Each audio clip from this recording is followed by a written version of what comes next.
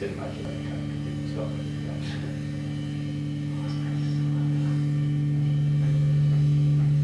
it. Thank you.